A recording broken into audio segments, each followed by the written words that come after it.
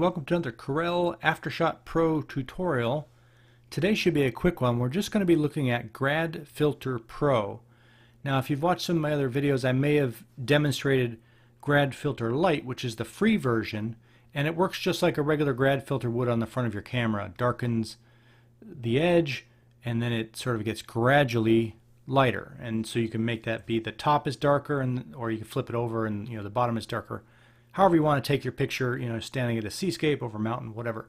You can obviously do all that in software. I prefer doing that in software simply because it's what they would refer to as non-destructive.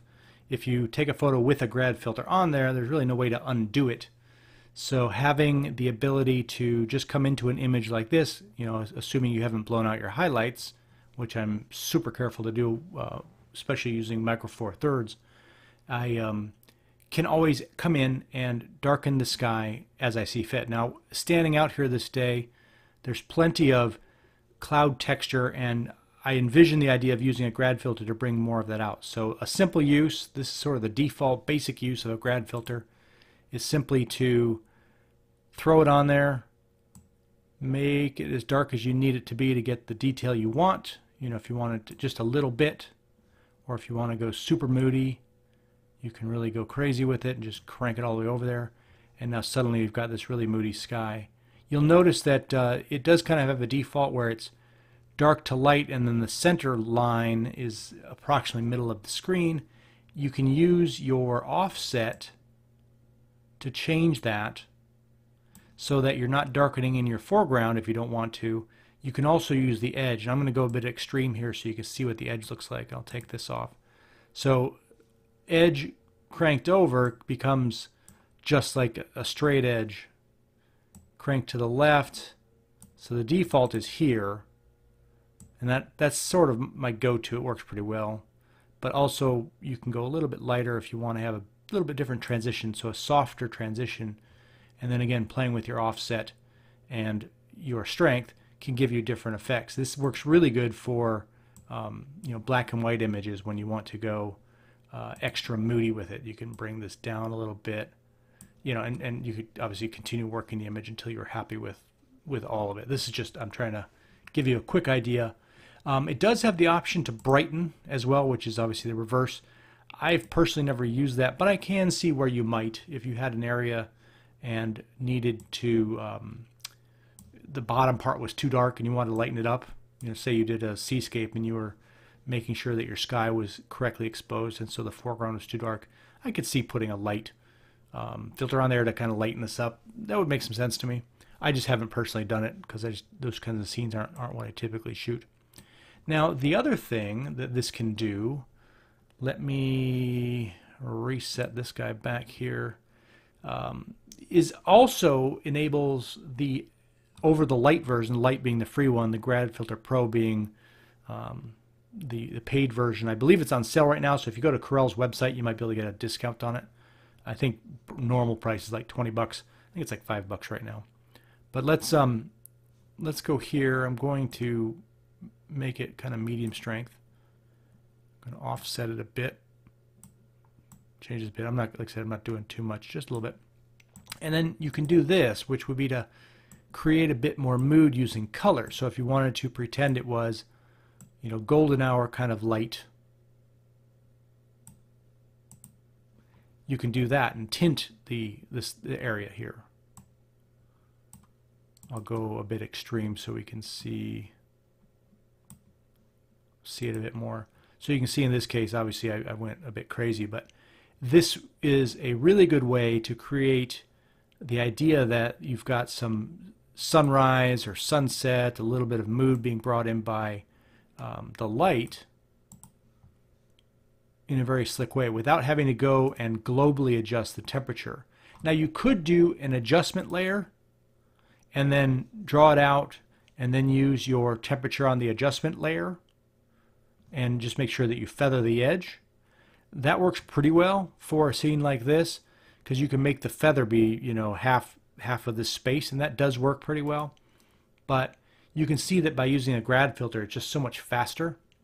And then the fact that the Pro version allows us to change color, you know, means that we're not stuck to just the um, the options that were provided by the temperature, right? So it gives a little more flexibility if you're into trying uh, to tone your images in a way that you know give them more impact based on you know what you're after.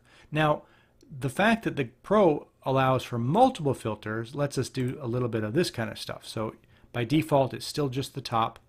I'm going to crank this over here. You can also just type that in. And then let's say I'm going to do this one thusly. And then I can play with the, uh, let me go center line here. I don't want to get up into that area. Keep it down like so. And again, I'm not going not going real crazy with it. And then the edge, I'll just tweak it a little bit. And so now I've got you know the, the ability to add one tint in one area and another tint in another. And, and again, depending on what you're after, you might be able to use that to utilize the idea that you're at blue hour, it's a transitional period of time, you've got some yellow light coming in, you want to emphasize that, or the clouds are kind of cold up above, you're trying, trying to emphasize that. So that that's kind of um, a, uh, a basic way to use the various grad filters and get a sense for those. Now let's take, take a look at one other option. Okay, so this might not seem to make uh, initially quite as much sense to use a grad filter on. This is a um, foggy morning scene, obviously trees in the mist, that kind of thing. And I mean, I could decide to use a grad filter here and warm it up a little bit, maybe have some color that's a little annoying, but it works out okay. And sort of create, you know, this effect thusly, if I, if I really wanted to do that, and then have nice warming effect as if the whole scene was warmer, or if you decide that you wanted to be a bit colder. Now again, you can use temperature to do this as well, but that again would cover the whole scene, where here you can kind of play with the options of uh, just the upper portion or just the lower portion. And so that's, like I said, this is kind of a nice effect right here, okay? So to me, this opens up a lot of possibilities for how I might interpret a scene by just using this. But let me show you one other option here. Let me, um, I'm to bring these back down to, come on, um, this one I'm going to turn back to yellow. But what I'm going to do now is rotate it and then play with the offset a bit. Let's rotate it a little less than that. There we go. And then like this. So what I'm going to do here, and again, this is a bit extreme for our, so we can see it in our tutorial here.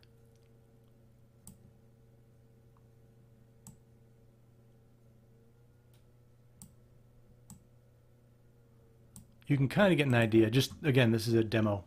See how it's a bit yellow, in this case, yellow up here?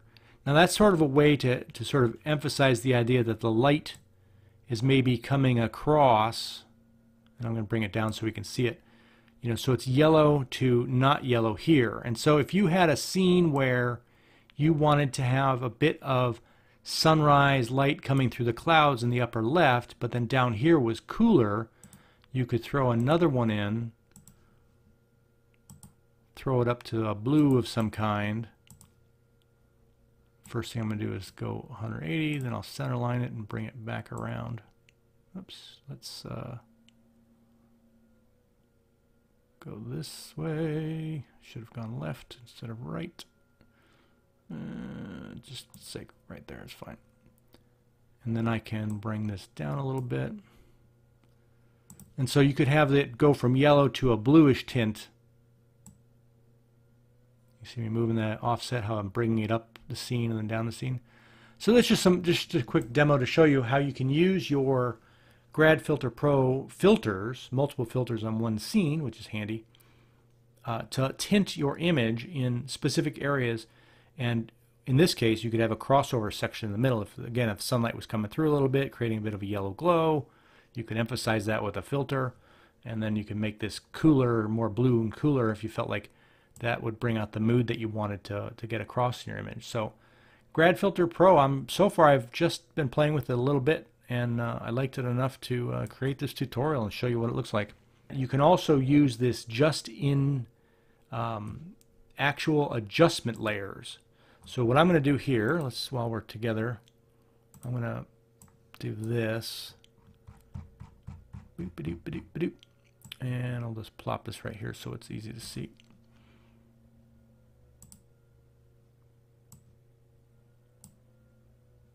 Hmm, interesting.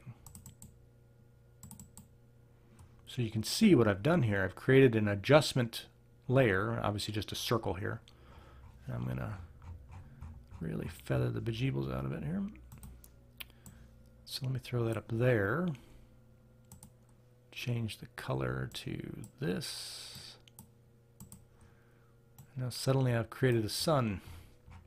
So, you know, I, I guess I could see where you might use something like that.